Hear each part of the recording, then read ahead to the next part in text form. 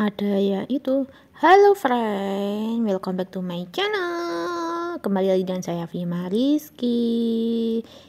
Jangan lupa subscribe ya. Let's go. Assalamualaikum. Kembali lagi dengan saya Fima nah pada video kali ini kita mau membahas hal apa aja sih yang uh, perlu dipersiapkan sebelum kalian itu mendaftar PPG Prajabatan Oke, yang pertama itu kalian bisa pastikan dulu ya. Kalau kalian itu eh, mahasiswa S1, pastikan kalian tuh udah lulus dan juga udah eh, ke di PP Dikti ya. Di Dikti itu udah ada ya datanya ya.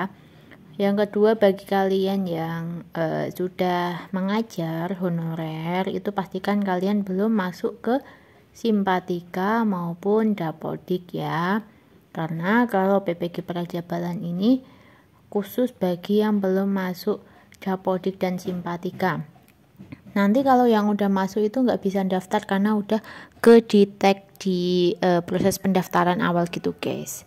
Yang ketiga itu kalian harus persiapkan juga untuk belajar tes substantifnya ya. Karena soal-soalnya itu susah. Uh, kalian harus belajar dengan giat dari uh, jauh-jauh hari jangan belajar mepet-mepet ya selanjutnya kalian juga persiapkan diri untuk tes wawancara dan uh, yang paling penting yang keempat itu kalian harus menyiapkan uang selama kuliah itu guys. Nah, uang di sini itu bukan uang untuk bayar kuliahnya, tapi uang untuk biaya hidupnya guys. Karena kuliah PPG ini kan gratis, tapi gratis biaya kuliahnya kayak UKT-nya itu gratis tapi untuk biaya hidup itu ditanggung mahasiswa sendiri. Jadi kalau kalian yang rumahnya jauh dan pengen uh, ngekos itu kalian harus persiapkan uangnya juga. Kalau enggak ya kalian pilih LPTK yang dekat dengan rumah kalian aja ya biar enggak usah kos. Jadi uh, untuk makan kalian bisa makan di rumah tapi ya semua itu kembali lagi ke diri kalian masing-masing ya guys. Oke, setelah itu kalian persiapkan juga laptop guys. Karena saat kuliah PPG ini walaupun kuliahnya luring eh, di kampus tapi laptop ini adalah menjadi salah satu hal yang penting ya.